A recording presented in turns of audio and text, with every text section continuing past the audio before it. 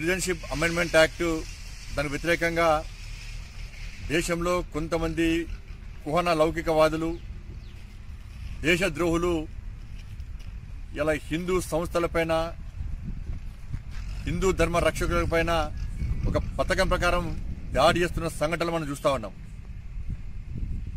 మొన్న తెనాల్లో జరిగిన సంఘటన కానీ ఈరోజు బైన్సాలో జరిగిన సంఘటన కానీ బైన్సాలో ప్రతిసారి ఎంఐఎం గుండాలు హిందూ ధర్మ రక్షకుల మీద దాడి చేయడము ఒక ప్రణాళిక ప్రకారము ముందు వేసుకున్నటువంటి ప్లాన్ ప్రకారము విచక్షణాయుతంగా దాడులు చేస్తూ వాళ్ళ ఇబ్బంది పెట్టే ప్రయత్నం చేస్తున్నారు.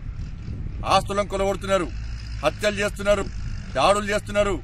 అయినప్పుడు కూడా ఈ రాష్ట్రాన్ని వెళ్తున్న టీఆర్ఎస్ పార్టీ యొక్క మద్దతుని ఇలా ఎంఐఎం గుండాలు విచ్చలవిడిగా రాక్షసత్వం ప్రదర్శిస్తుంటే వాళ్ళ పోలీసుల మీద దాడి చేసినప్పుడు కూడా కనీసం పోలీస్ అధికారులు శాంతి భద్రత సమస్యల పేరుతోని వల్ల వాళ్ళ కొమ్ము కాస్తూ హిందూ సంస్థల పేరు మీద హిందూ ధర్మ రక్షకుల మీద ఇలా పక్షపాత దూరంతో వివరించడం నిజంగా సిగ్గుచేటు.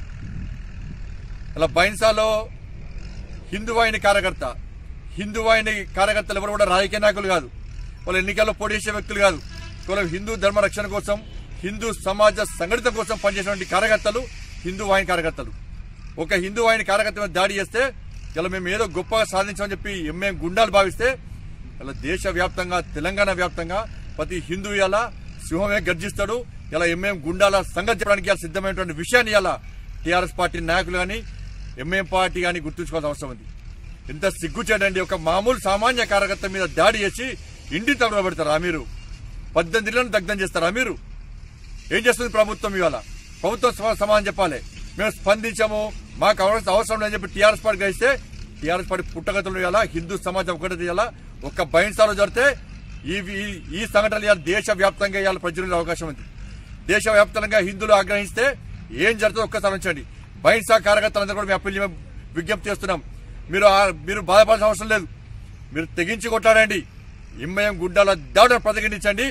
ఇలా సమ్మేళనంతో మేమున్నాం ప్రశాంతమైన వాతావరణం కల్పించాలి మేమున్నాం ప్రజాస్వామ్యబద్ధంగా మేమున్నాం.